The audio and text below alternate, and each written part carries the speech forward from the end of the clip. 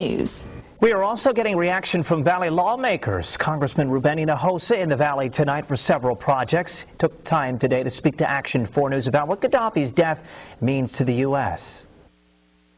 When you have as many thousands of people who were brutalized and killed and raped and uh, for 42 years, then you can understand why the demise of this uh, leader, this uh, authoritative dictator, is something that is welcomed by many, including myself.